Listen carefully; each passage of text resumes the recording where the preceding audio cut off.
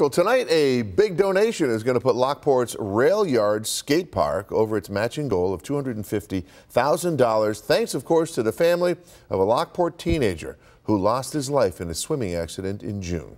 Jacob Minnick Scholarship is being converted into a donation to the skate park, a place where he liked to spend time with his friends. Two on your sides, Kelly Dudzik spoke with Jacob's mom today about what this means to their family. Kelly?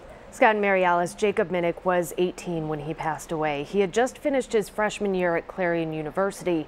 Jacob was on the swimming and diving team and was a standout at Lockport High School. He spent his summers lifeguarding at the pool right next to the rail yard skate park and also enjoyed skateboarding.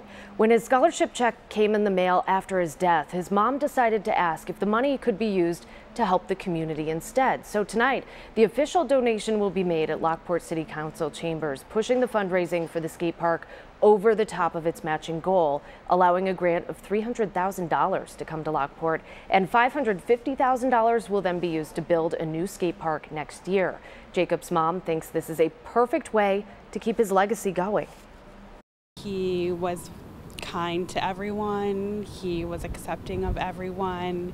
He would take his time to teach uh, all different things from skateboarding to science, music.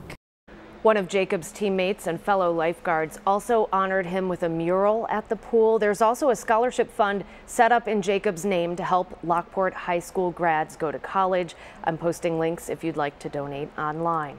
In the Information Center, Kelly Dudzik, Channel 2 News.